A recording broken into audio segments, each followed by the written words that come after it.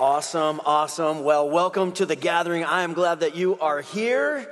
My name is Tom. Everybody say hi, Tom. And this is what I want you to do. I want you to look to the person next to you. Just look over right there, make eye contact with them, look at them, look at them, look at them, look at them, and go, Man, you look good. yes, yes. Uh, Pastor John already mentioned that, so the sales pitch is over. Hey, my mom read that book. She really enjoys it, so that's, that's an endorsement right there. But um, this is the second service. I heard this is the quieter service. Whew. Yeah, so I need, I need your help. This is 100 proof water. I was always wondering what, they, what Pastor drinks over here, but it's actually just water, I promise. That was, that was a joke. Uh, my family is here, um, and uh, they don't always get to be in church with me because I travel and speak from place to place and do different things like that. And so um, I'm super honored that my family's here. I want to introduce them. I have a picture of them. Um, so the guy in the middle, that really is me with a beard. That was like two weeks ago. And um, don't be jealous, it'll be back in like two more weeks. So, uh, it's just how that works. It's like the Santa Claus, just kind of shake it out, and there it is. But um, my wife there in the middle, um, uh, she keeps renewing the contract this month. We were married 24 years. Yeah. I know that's hard to believe. We actually couldn't rent a car when we got married. We were too young. And uh, so, the true story, I promise. Um, uh, over on my far left, you're right, that is our youngest daughter, Britton. She's a junior in high school, 16, driving, thinking she's in charge. Pretty much is. Um, and then uh, on the far on the far right or your left is our oldest daughter, Kylie. Kylie, um, she we were such great parents that she had to leave the country. Most kids just have to leave the house. She left the country. She um, she attends college. Uh, she's finishing up her undergrad in England. We're going to go visit her for Christmas. So yeah, that's that's pretty that's pretty awesome. That's pretty amazing. Um, uh, that sounds way more bougie than it is, I suppose, but it is what it is. Um, we are we are honored to be here. I'm honored to be here and share Last service was incredible. I'm, th- I'm believing that God is up to something and going to do something powerful in this service. And I just want to take a moment to say thank you to uh, Pastor John and Cindy for um, n- not just pastoring all of us, but since we've been here, kind of opening and uh, welcoming our family home as we um, we've just been wandering in the desert like the children of Israel. And we're like, what are we supposed to do? Oh, the gathering. There we are. We actually found we actually found our church on Instagram. Can you believe that? That's how, that's, how we, that's how we found it. So if you're not following us on Instagram, get the app and follow us on Instagram. There's another, there's another app plug, but uh, um, get that. Today, I want to spend just a few minutes in God's Word about um, a really powerful moment with Jesus. You know, he had these really, really powerful encounters, and some of us have our favorites. I don't know how long you've been around church or how much you know about the Bible or those kinds of things, but this is a really powerful encounter that Jesus has um, with someone that I believe relates to all of us. And what I want to talk to you about is how our story matters or your story matters. We all have a story. Some of us are more scandalous than others, but not you, the first service people. Not, not you, not you. But we're going to go join Jesus for dinner in Luke chapter 7. We're going to start in verse 36. There was a very uh, wealthy and influential man who thought he would kind of chummy up to Jesus and be like, "Come to my house. We're going to we're going to cook this big huge buffet for you and we want to have you over for dinner." And so we pick up the story at verse 36. Luke chapter 7. It says this One of the Pharisees asked Jesus to have dinner with him, and so Jesus went to his home and sat down to eat. When a certain immoral, somebody say, uh oh. Right? When a certain immoral woman from that city heard he was eating there, she brought a beautiful alabaster jar filled with expensive perfume and she knelt behind him at his feet weeping. Now you got to imagine the way that they would lay at the dinner table is probably different than how they do it at your house. I mean, they don't do it this way at my house. They probably don't do it this way at your house, but they would actually lean forward with their feet reclined behind them, right? And so she crept up, she snuck up on Jesus and uh, was behind him And um, she, she knelt there behind him, weeping, and her tears were falling on the feet of Jesus, and she wiped them off with her hair. And she kept kissing his feet and putting perfume on them. Verse 39 When the Pharisee who had invited uh, Jesus, when, she, when he saw this, he said to himself, so he thought this privately, if this man were a prophet, he would know what kind of woman is touching him because she's a sinner. What kind of woman this was.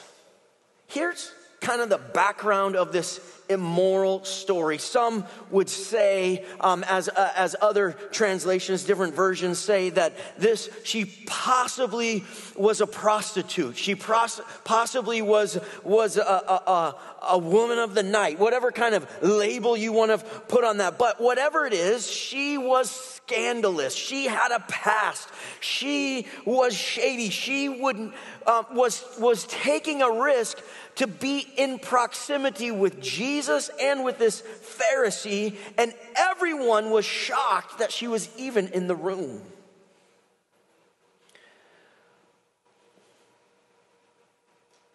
But Jesus wasn't shocked. Jesus knew, Eh, eh, I want you to hear this more than anything else. Jesus knew exactly what type of woman she was. And he knew a little bit more than even that. We're going to get into that here in just a second. But what is the significance or what is the elements of our story that matters, of your story that matters? And as we get into this, I just want to kind of throw out this clause real quick. I'm going to get into my personal story. And um, for moms and dads in the room, I just want to forewarn you that my story is um, PG 13. It's, it's scandalous, it's shady. And um, I, I, just want you to be forewarned. We're going to talk about that. My daughter's in the room today, right? That sort of thing. So we're going to talk about some PG 13 stuff. We won't go beyond that. I could, but I'm not here to brag about those things. I'm here to brag about Jesus. But I just want to let you know that, that you can proceed according however you feel you need to. But um, we're, we're going to go there today. How is it that our story matters? Well, number one, I, I want to talk about the impact of a story. See, Jesus in this uh, uh, situation, this immoral woman, or what type of woman she was, he looked past the implications and saw the impact of her story. He looked past the implications of being known and associated with a woman like that. I put that in quotations because Jesus had a reputation, like the T Swift song. That's Taylor Swift for those of you that have been living under a rock. Um, he had a reputation where they accused him of being a glutton and a drunkard, um, which is like church language for being a drunk. Um, and, and, and, hanging out or friends of sinners. He knew the implications to his own reputation of being in the room with a woman like this. What if, what if they accused Jesus of something inappropriate? What if they started to think he ran with that type of people? But he looked past the implications and he saw the impact of her story. He saw the impact of not who she was, but who she would become. In the rest of this story, continuing this on in Luke verse 40 of chapter 7, Jesus answers the thoughts of this Pharisee man, of this leader, and Jesus answers his thoughts. It literally says this Simon, he said to the Pharisee, I have something to say to you. Go ahead, teacher, Simon replied. Then Jesus told him this story. A man loaned money to two people 500 pieces of silver to one and 50 pieces of silver to the other. But neither of them could pay back the debt. So he kindly forgave both, canceling their debts. Who do you suppose loved him more? Simon answered, I suppose the one who he canceled of the larger debt. That's right, Jesus said.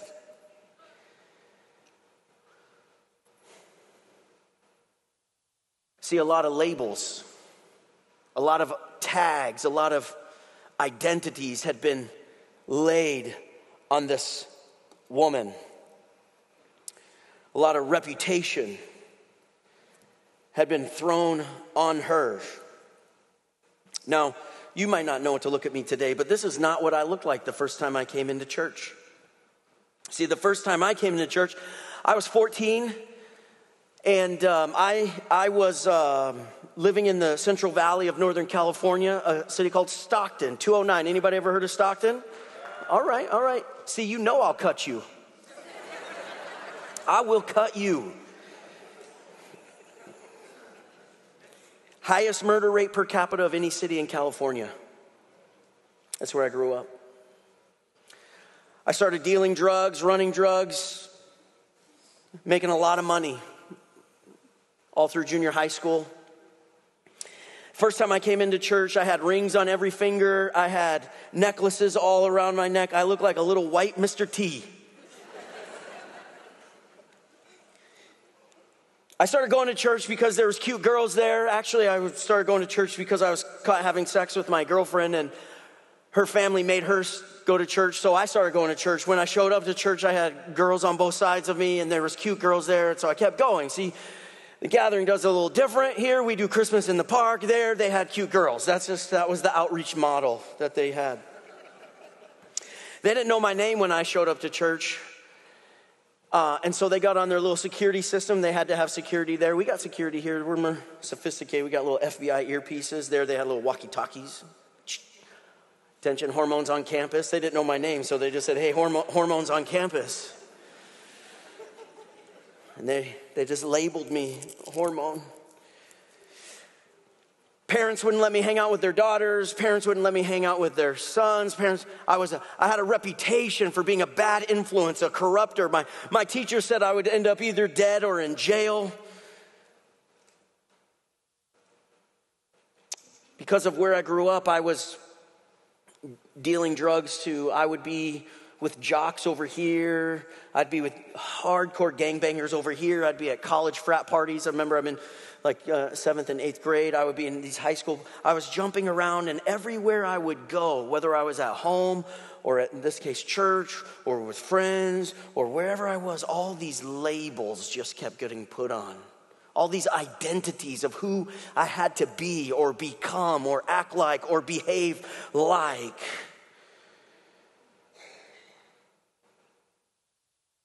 This woman came with an identity and a label of being immoral of having a shady past. But Jesus looked past the implications of being with someone with that label, looked past the implications of the scandalous story and the scandalous past. He looked past the implications and saw the impact of who she would become.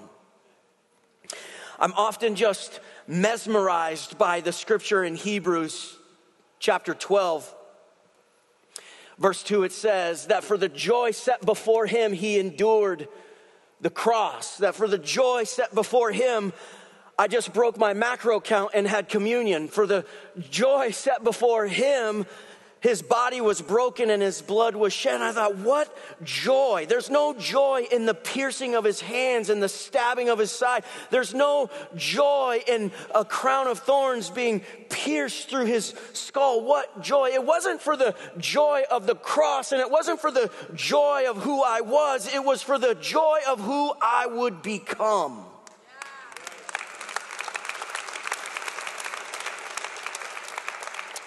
It isn't the joy of the labels that you've been given, it's the joy of who you would become when you recognize Jesus looks past the implications of your story and he sees the impact.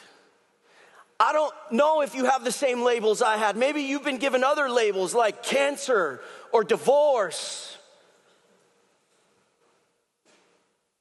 failed business kids leaving home. I don't know what labels have been put on you to where you think Jesus no longer wants to be implicated with you. But he sees past the implications of your broken, messed up, scandalous story, and he sees the impact of who you will become.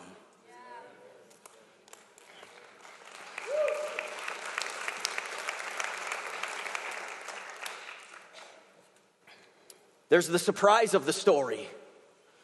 The surprise of the story. Verse 47, we pick it up. He says this I, I tell you, her sins that are many. See, he, he knew. He, he knew all about it. Her sins that are many have been forgiven. And so she has shown me this great love. But a person who is forgiven a little only shows a little bit of love.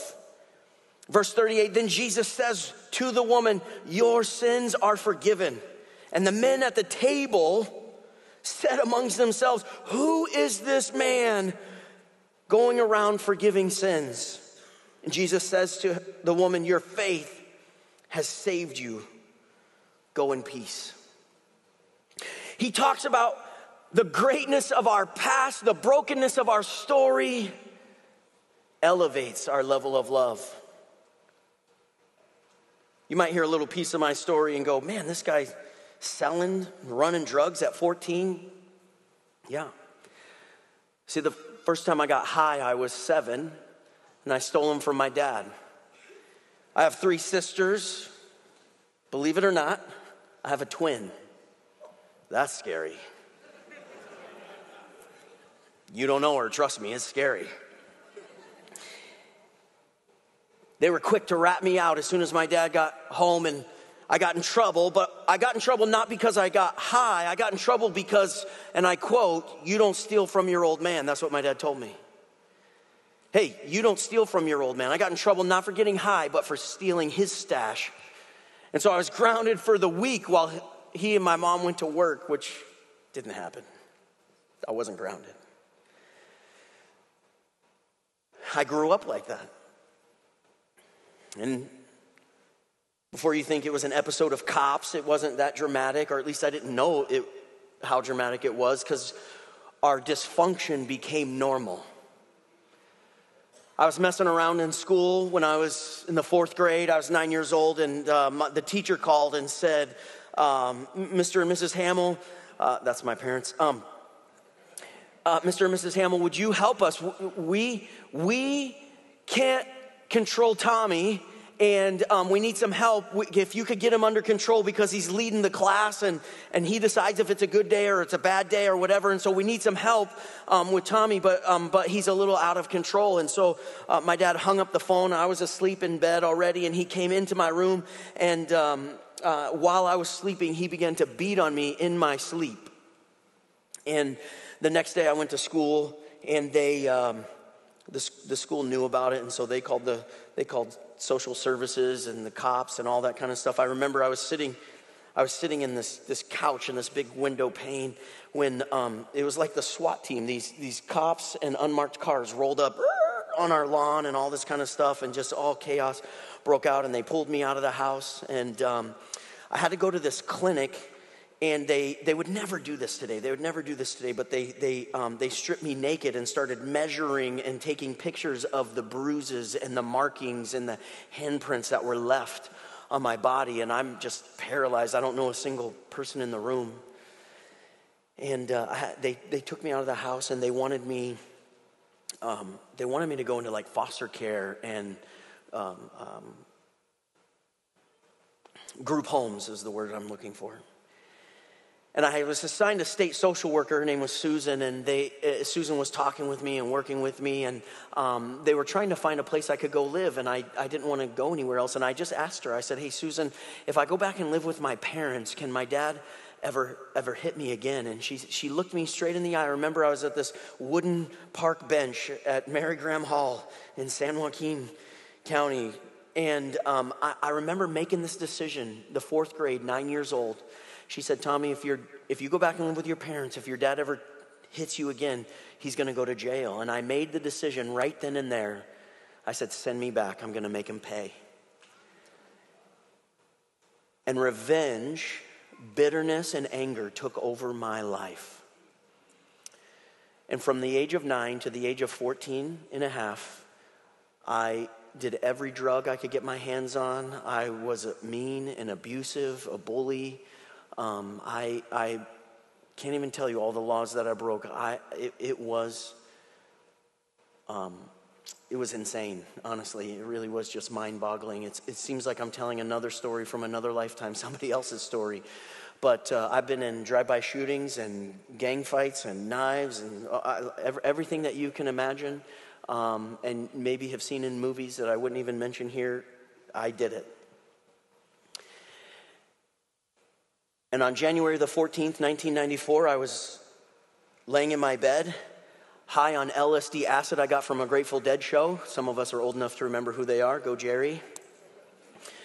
Everybody else is like, what is he talking about right now? It's no worries. As I'm laying there in my bed, I'm contemplating everything that was going on in my life. See, the cops were showing up at my door, the cops were showing up at my school. I was getting pat downs and drug searches and all these things were happening, and I just thought I was so slick and smooth, but my life was spiraling out of control. And I had come to the conclusion after attempting suicide twice that it wasn't my fault that I was living this life. I was dealt a raw deal. I didn't deserve any of the things that was happening to me. And so I came to the conclusion the only way I was going to be happy was if my dad was eliminated from the picture. And so I planned that I would go into his room in the middle of the night, like he did to me, and wake him up. And I would end his life with a nine millimeter gun that I ordered through my drug supplier. And it was to come in five days. When I first started going to church, there was this big, ugly youth pastor that would come up to me every Friday. Had, they had youth group on Friday night. There's like 300 kids there or whatever. And um, this big, ugly youth pastor would come up to me and say, Jesus loves you and has a plan for your life. And I was like, man, you don't even know me. I would leave that youth group and I would go on these weekend bingers and all these kinds of things. I'm like, you don't even know me. God doesn't want to do any, have anything to deal with me. I don't want anything to deal with God. I'll just sit in the back row and mess around a little bit and leave your little, your little church service thing to you, right? That sort of thing. But he was relentless. He would just come up. Jesus loves you, has a plan for your life.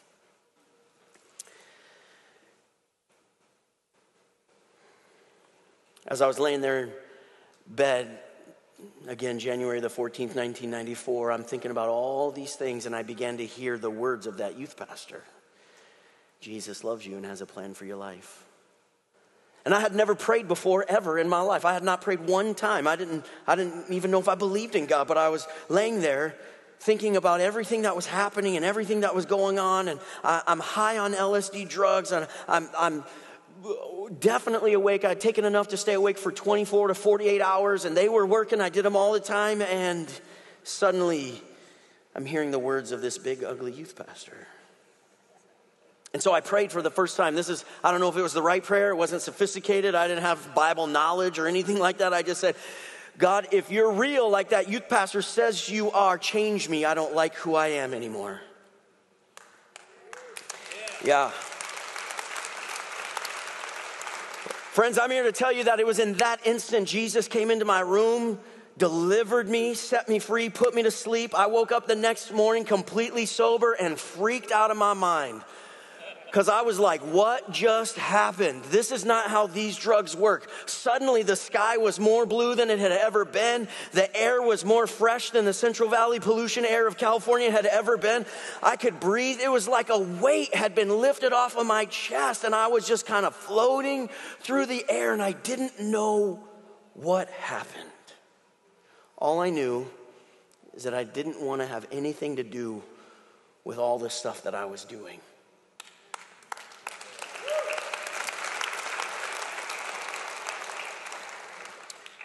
That youth pastor, I would call him on the phone, you know, like, did I tell you I grew up in the hood? I just want to make sure you understand that because because I'm not endorsing this, Pastor John. I'm not endorsing. I'm just saying this was me. Okay, this was me. He he gave me a Bible, and um, um, he would say, "Hey, start reading in the Book of John." And so I'd call him on the phone, and I'd be like, "Where in the blankety blank of this book is John?" I had never heard any of this stuff before. He'd laugh, and like, "We'll work on your vocabulary, but it's about here," you know, that sort of thing.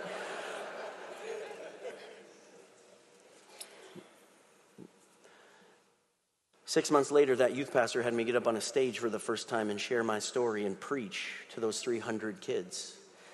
I told him, man, I didn't get saved to be a preacher or anything like that. I was shy. I had to use drugs to come out of my shell. And he basically threatened me with my life and said, You're going to preach this week. And I said, No, I won't come. And he gets real close to me and says, If you don't come, I'll kill you. Russell, don't do that here. That's how you youth pastor in the Central Valley. Not here, not here, not here. At 15 years old, I preached for the very first time, and it was like the Matrix. God spoke to me in an audible voice and said, This is what you're supposed to do with the rest of your life. And the way God said it to me, there was only one response I could give him okay. Because he said it with such authority and such gentleness that I knew I'd spend the rest of my life telling this story because of the impact. I've now literally been around the world. I think Antarctica is the only continent I haven't been on to preach.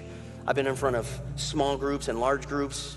I think the largest group, not that you care, but just to talk about what God did, it was like 500,000 people was the largest crusade that I've ever preached at. Yeah. Ten years later, I'm preaching on a stage just like this, telling a story just like this, and my dad is sitting in the back row. And I give an invitation like you're about to receive in just a moment. And he raises his hand and he makes eye contact with me and says, I want to give my life to Jesus today. Yeah. My mom made the same decision a few weeks later. I baptized both my parents as a pastor, right? Like all. When my dad passed away in 2014, I'm holding his hand. We're worshiping Jesus together.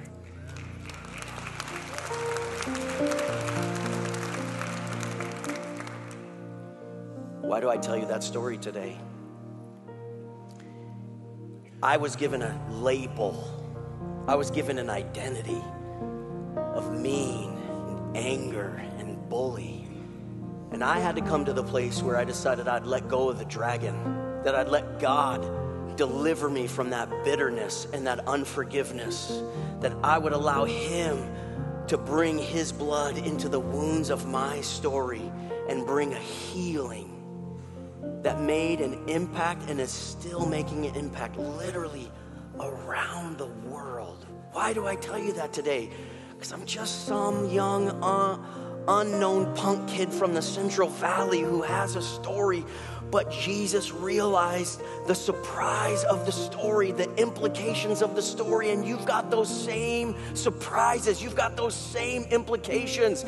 I'm not anything special or greater or more insignificant or important. He just wants to use our story. This is what he says about this woman. This is what he says about you. This is what he says about me. He tells them this. If you keep reading the story, I'm not going to take the time right now because I want to wrap this up, but this is what he says. He says, wherever the gospel is preached, this woman's story will be told. Wherever the story of Jesus is shared, shown, demonstrated, this woman's story will be told. That's what he's saying about you. That's what he's saying about me. Why is Christmas in the park significant? Because it's just another event to keep us all busy? No, no, no, no, no. It's so that the story of Jesus and the story of you can be shown and demonstrated. It's so that people can understand that he looks past the implications of people like that.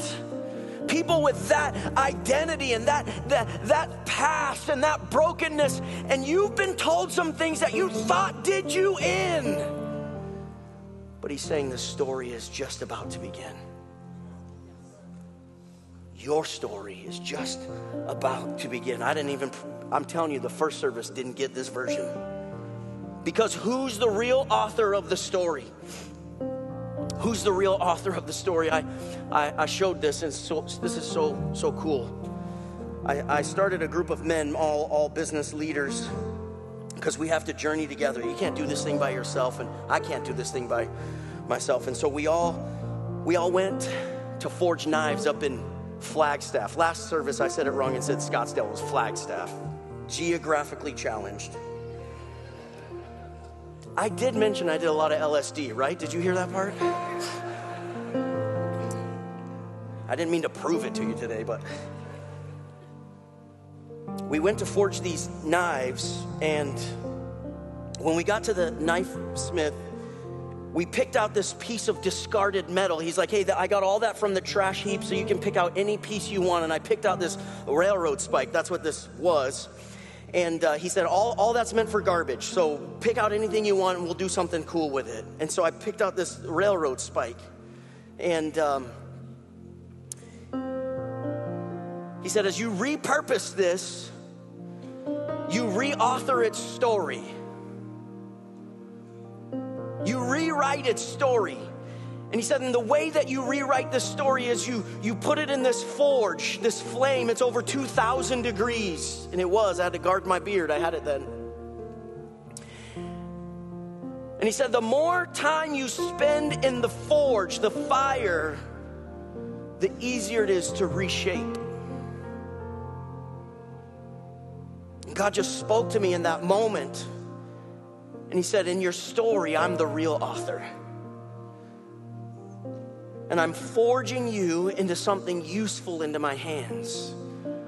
Where everyone else might have discarded you, said you were a failure because of this reason or that reason, or maybe you felt like a failure. Maybe you had the, the label or the title, you had the identity of failure. And he's like, I'm, I'm reforging you into a mighty weapon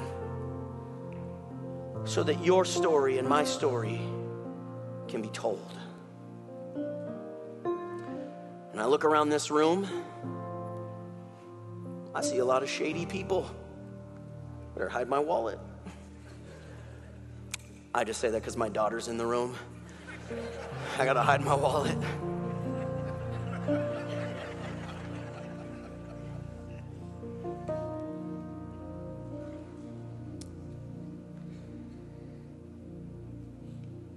At 44, I've watched God heal, deliver, change, transform the messiest of people.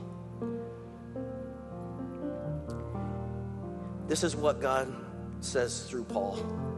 I'm the worst of sinners. I got the worst story.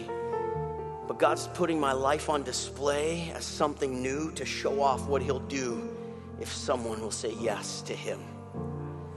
Your story matters. Your story has impact, your story has implications. And today, the invitation is will you submit your life to the forgiveness, to the forge of Jesus, so that He can intertwine and twist His story in with your story, so that you can make an impact like you never knew was possible with someone like you. Here's what the Bible tells us. I'm going to wrap up with this right here. Thank you, Pastor, for letting me share today.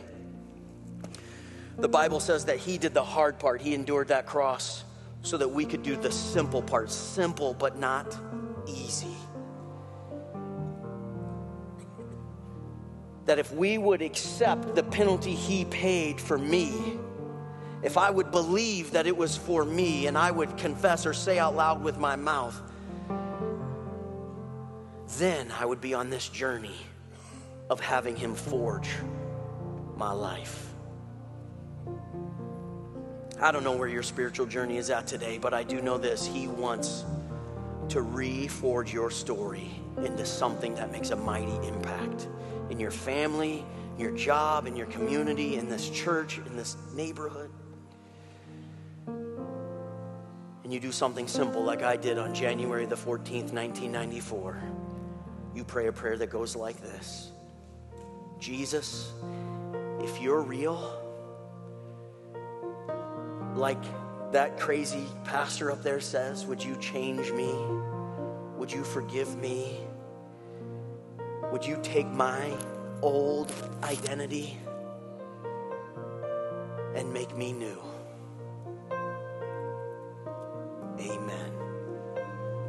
If you just prayed that prayer online, if you would just put, I said yes in the chat, there'll be somebody that would follow up with you. If you made that decision here, listen, we don't think you have it together. You don't. I don't. If you thought this pastor had it together, you're wrong. But we journey together to figure it out, to be forged together. And so, if you're making that decision today, please stop by the connection table, or even better yet, we're going to end this service with some mighty people that are ready to pray with you, partner with you, befriend you, to help you with those next steps. And you would be able to come out of your seat and let them pray with you in just a moment. Let me just close with this right here. I got even with that big ugly youth pastor. I married his baby sister.